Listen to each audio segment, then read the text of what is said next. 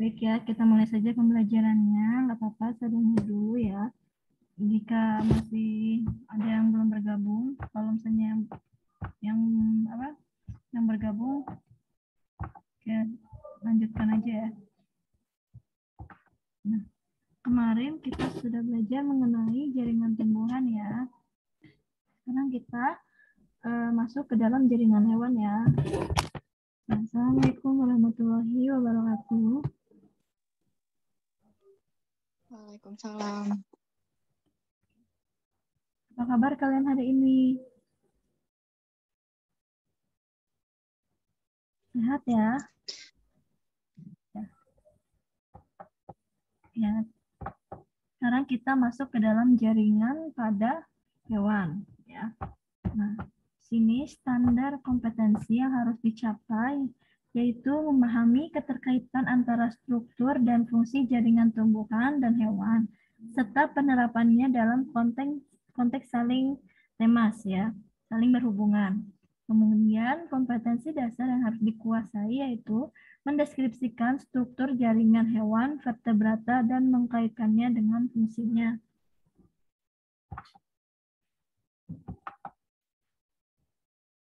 Apa sih yang dimaksud dengan jaringan itu?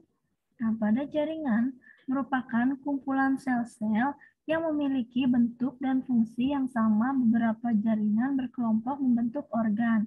Jadi jaringan itu bagian dari sel. Ya, sel itu apa? Unit terkecil bagi kehidupan. Ya. Kemudian pengelompokan jaringan penyusun tubuh manusia atau hewan yaitu jaringan penyusun organ-organ tubuh hewan atau manusia dikelompokkan menjadi empat kelompok, ya, yaitu pada jaringan epitelium, kemudian jaringan ikat, jaringan otot, dan jaringan syaraf. Nah, pengelompokan ini didasarkan pada bentuk sel penyusunnya. Pada jaringan epitelium ya, yang pertama yaitu tersusun sangat rapat satu dengan lain ya. Nah, kemudian lapisan sel selalu menghadap ke permukaan ya lapisan ini ya lapisan sel itu selalu menghadap ke permukaannya jadi sejajar ya. Untuk lapisan jaringan epitelium terdiri dari dua komponen ya. Yang pertama lapisan sel dan lapisan bawah yaitu membran basal ya. Yang ini yang dimaksud dengan membran basal ya pada jaringan epitelium. Kemudian eh, apa tempat melekatnya lapisan sel di sini yang di atasnya disebut dengan apikal. Nah, vaskuler atau tanpa pembuluh darah kemudian regenerasinya tinggi ya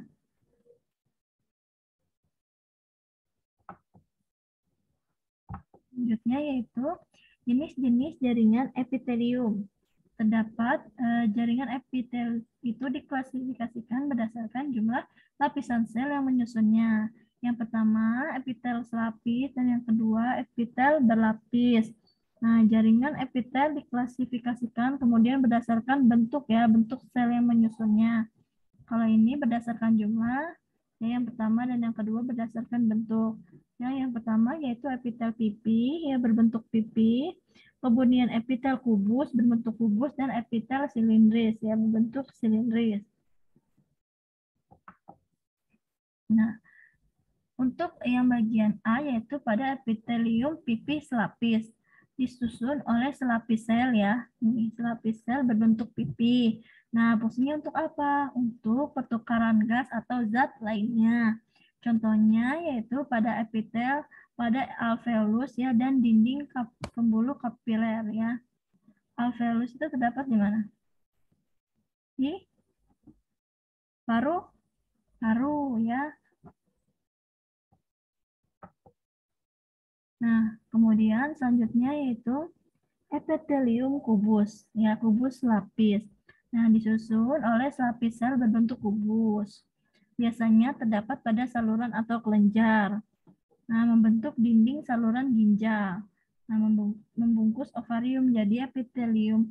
Jaringan epitelium kubus lapis itu terdapat pada dinding saluran ginjal dan membungkus ovarium ya. Nah, kemudian selanjutnya epitelium silindris lapis ya jaringan epitelium disusun oleh selapis sel berbentuk silindris ya berbentuk silindris. Kemudian biasanya terdapat sel goblet di antaranya sel-sel epitelnya nih.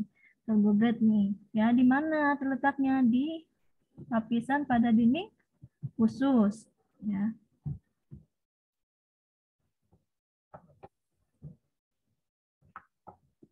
Selanjutnya yaitu pada epitelium batang berlapis semu. Disusun oleh selapis sel ya. Kemudian berbentuk batang, berbentuk batang, namun seperti berlapis ya, berbentuk batang dan berlapis-lapis. Ini seperti jaringan uh, epidermis ya, jaringan epidermis pada uh, tumbuhan ya. Tapi ini bukan jaringan epidermis ya, karena berbentuknya saja ya, berbentuknya batang dan apa seperti berlapis-lapis. Nah, kemudian kadang memiliki silia, terutama yang menyusun sel atau penapasan ya. Silia itu apa? alat apa? Apa silia dan flagellata itu apa sih bedanya waktu pas uh, apa sudah diajarkan mengenai apa? prokariotik? Silia apa? Bulu cambuk atau bulu getar?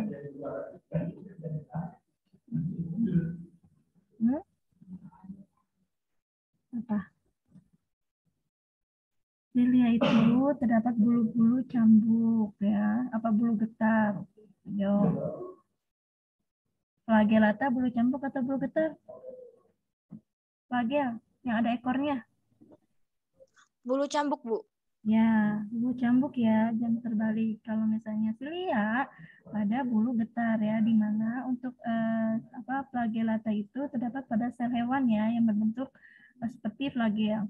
Nah, kemudian yang sini beda ya, jaringan epitelium batang berlapis semu terdapat pada apa? Pada menyusun sel pernapasan. Ya, pada trakea ya. Hmm, pada penyusun-penyusun pernapasan berbentuk sel. Nah, berfungsi untuk apa? Sebagai sekresi atau absorpsi. Ada tahu sekresi itu apa sih? Sekresi. Bukan ekspresi ya. sekresi beda. Ya, sekresi apa? Sekresi dan ekresi itu apa, apa sih bedanya gitu? Kalau sekresi itu apa?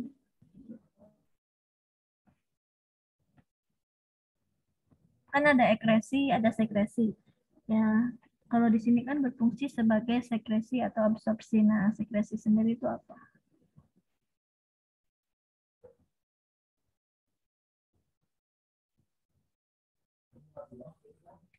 Ada ekresi, sekresi, defekasi ya.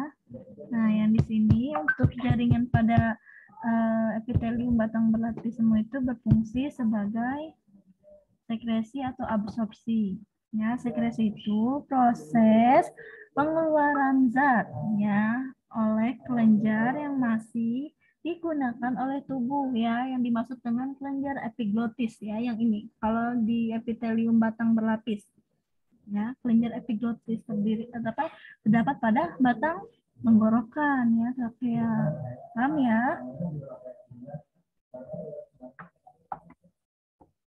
Selanjutnya selanjutnya yaitu pada ep, jaringan epitelium berlapis ya di sini pada jaringan epitelium pipi berlapis berbentuk pipi ya selnya yang menyusun terdiri dari beberapa lapis sel Nah, kemudian berbentuk pipi ya, berfungsi untuk apa? Untuk sebagai pelindung ya. Pelindung itu letaknya di mana? Di kulit, di mulut, di esofagus ya. Untuk jaringan epitelium.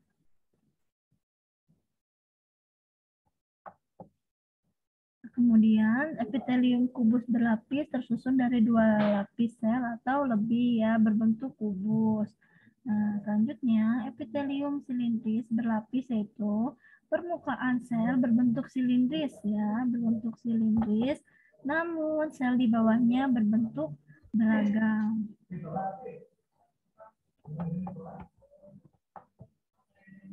Nah, lanjut ya, selanjutnya yaitu epitelium transisional.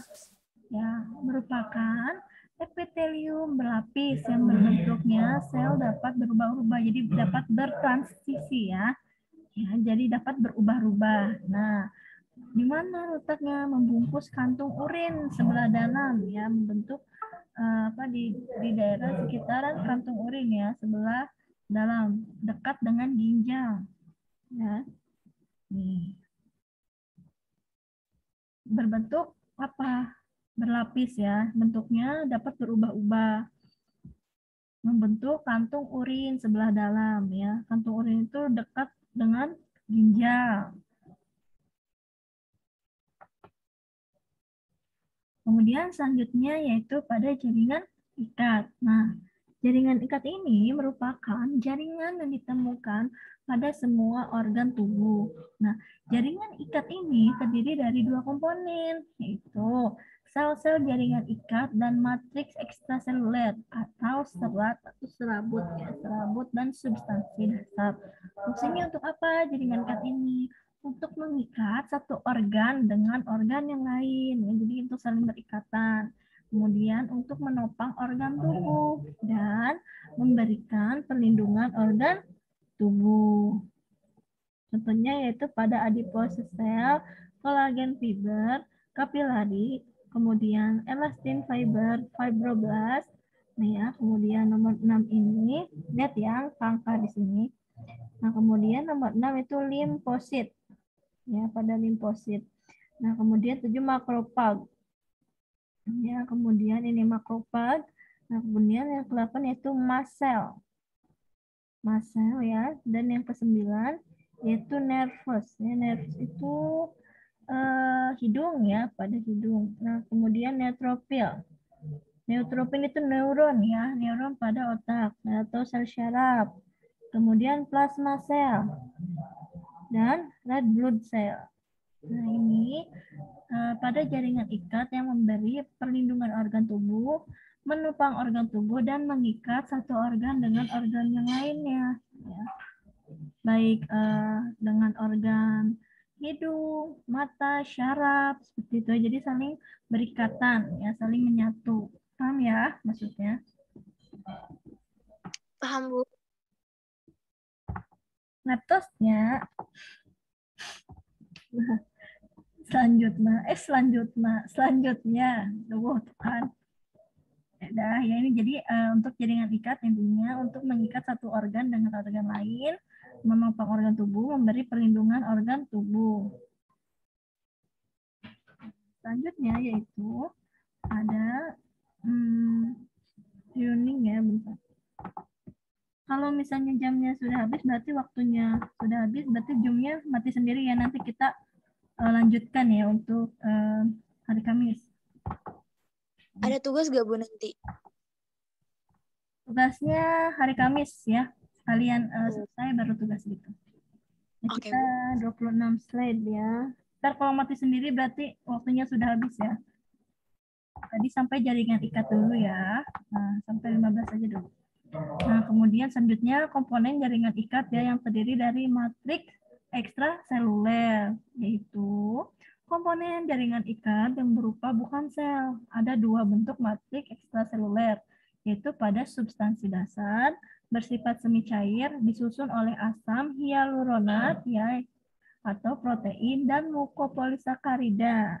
Nah, kemudian serat. Seratnya yaitu dihasilkan oleh sel jaringan ikat. Nah, Berdasarkan bentuknya, ada tiga jenis penyusun jaringan ikat pada matriks ekstraseluler. Ya. Yang pertama, serat kolagen untuk apa? Untuk mengencangkan kulit. Untuk apa lagi? Coba, kalian pernah kan uh, memakai krim-krim ini untuk mengencangkan kulit kolagen, elastisan, dan retikuler. Nah, kolagen itu sendiri apa? Untuk apa sih fungsinya kolagen? Kalau kolagen saya tahu itu Bu fungsinya untuk mencerahkan kulit. Ya. Jadi kayak dalam tapi. Ya, untuk mencerahkan kulit, kemudian serat ya itu karena uh, misal kita memakai hand body, ya uh, katanya apa untuk kolagen ya ada kolagennya uh, untuk penuaan dini ya maksudnya biar kita kulit kita itu terjaga ya terjaga dan lebih halus melembabkan dan apa jadi promosi ya sebenarnya ya untuk kolagen tersendiri yaitu untuk mencegah penuaan dini ya intinya. Nah, agar serat elastin itu agar kulit kita tuh menjadi elastis, lembab gitu. Paham ya? Nah, kemudian serat retikuler. Nah, uh, untuk uh, seperti krim-krim tersebut nanti apa ya nanti akan uh, terserap oleh tubuh kita itu melalui jaringan ya jaringan-jaringan yang dimaksud dengan jaringan ikat ini matriks ekstraseluler ya yang di dalamnya terdapat serat kolagen, serat elastin dan serat retikuler. Lanjut ya. Nah, selanjutnya yaitu jenis-jenis jaringan ikat berdasarkan jenis saraf, eh, serat dan sel penyusunnya, jaringan ikat dibedakan menjadi beberapa jenis. Yaitu yang pertama tulang ya. Kemudian eh, atau osteon ya, yang dimaksud dengan osteon disusun oleh sel-sel tulang ya. Jadi tulang itu uh, disusun oleh sel tulang, matrik matrik keras dan serat kolagen ya. Jadi uh, untuk apa? Untuk matrik keras itu untuk endapan kalsium ya di dalam tulang tersebut. Nah, berfungsi untuk melindungi organ tubuh dan memberi bentuk tubuh ya. Misalnya ada yang bentuk tubuhnya tinggi ya kemudian ada yang uh, maaf kurang tinggi dan ada yang misalnya bentuk tulangnya tuh penyakit tulang tahu ya? Tulang itu penyakit tulang lordosis yang misalnya yang membungkuk ke depan gitu ya tulang belakang yang bentuk yang membungkuk ke depan. Nah itu juga apa eh, terkena penyakit ya begitupun osteoporosis gitu ya pengeroposan tulang. Nah untuk jenis-jenis jaringan uh, ikat pada tulang ini untuk apa berfungsinya untuk melindungi organ tubuh ya tentu saja ya pasti kita eh, daging-daging uh, kita tuh terlindungi oleh apa? Oleh si tulang itu ya, oleh tulang tersebut itu pada jaringan ikat. Lanjut ya. Nah, kemudian selanjutnya yaitu pada tulang kartilago atau tulang rawan. Nah, tulang rawan ini terdiri dari sel-sel kondosit ya, yang dimaksud dengan lacuna dan kartilagosel. Ya, kartilagosel yang ini nih yang di luarnya, kemudian makula itu yang lapisan dalam. Ya. Nah, kemudian sejumlah serat kolagen. Nah, jadi terdapat serat-serat kolagen yang berada di kartilago tulang rawan. Nah, kemudian matriksnya keruh dan elastis. Nah, berfungsi untuk apa? Untuk menyusun kerangka bayi yang baru lahir. Nah, terdapat pada organ-organ tertentu, misalnya terdapat pada daun telinga, ya hidung, kemudian tulang rusuk, ya kemudian tulang kepala, ya biasanya itu tulang kepala juga kalau misalnya bayi itu suka ada embun apa ya ubun-ubun ya yang yang dipegang tuh gemoy gitu ya. Nah itu juga uh, tulang-tulang bayi tersebut tuh masih rawan ya karena tersusun sel-sel kondosit, kemudian uh, sejumlah serat kolagen dan matriks keruh dan masih elastis gitu ya. Uh, kepalanya itu masih uh, lentur gitu ya. Nah, terdapat pada mana? Pada selain pada kepala bayi, tentunya terdapat pada daun telinga ya, tulang rawan kartilag itu terdapat daun telinga, kemudian hidung ya, elastis kan ya bentuknya, kemudian tulang rusuk ya bagian belakang. Nah, selanjutnya yaitu nomor 17. Nah, selanjutnya yaitu pada jaringan ikat padat. Nah, disusun oleh sel-sel fibroblast. Ya, ini sel yang dimaksud dengan sel fibroblast. Nah, kemudian komponen matriksnya berupa serat kolagen yang tersusun padat dan teratur. Nah, jadi sel-selnya itu teratur ya. Kemudian contohnya apa? Tendon atau penghubung otot dengan tulang tendon ya penghubung otot dengan tulang biasanya itu terdapat di tulang ini nih. Apa namanya itu? Belikat. Nah kemudian liga, ligamen. Penghubung tulang dengan tulang.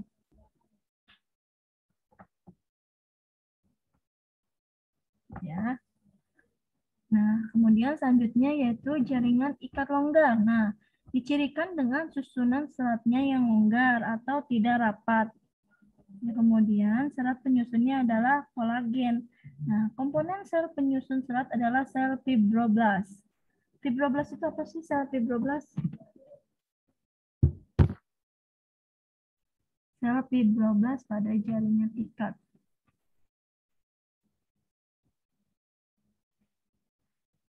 Apa? Fungsinya untuk apa sih? Sel fibroblast itu kayak sistemnya menyatukan gitu ya menyatukan antara kamu dan aku gitu ya.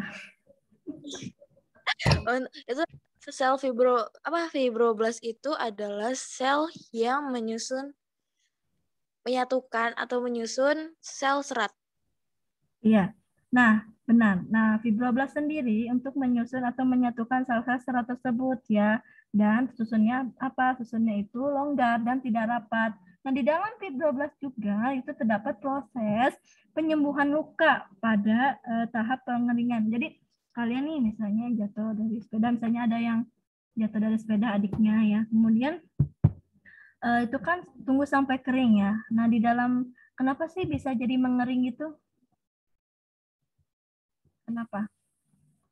Karena terdapat sel fibroblast tersebut. Kenapa hasilnya itu menjadi kering? Nah, karena di dalam sel fibroblast itu dalam prosesnya itu untuk penyembuhan luka ya pada tahap apa proliferasi ya yang terbagi atas beberapa rangkaian ya yaitu pada jaringan epitelasi dan fibroplasia ya kemudian apa kontraksi ya karena kenapa jadi uh, untuk luka-luka di hati, eh bukan, bukan luka di hati.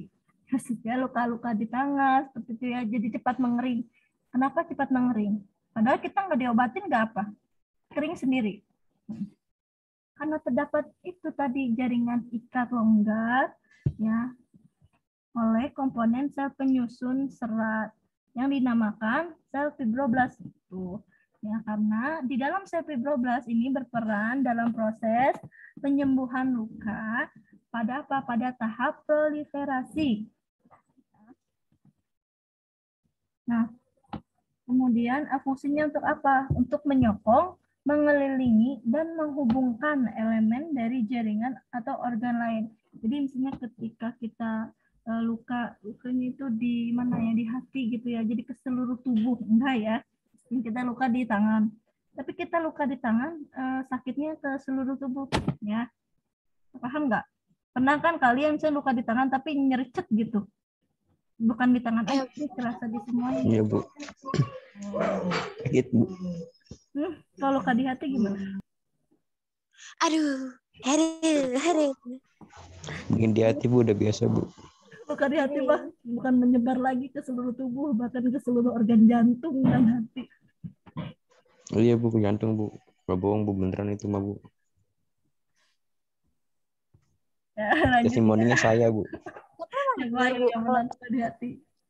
Katanya kan otak itu kan mengendalikan tubuh kita kan bu, ya kan? Nah kalau misalnya kita tertusuk apa gitu kan, eh, kita merasakan sakit di bagian, misalnya contohnya tangan, kayak habis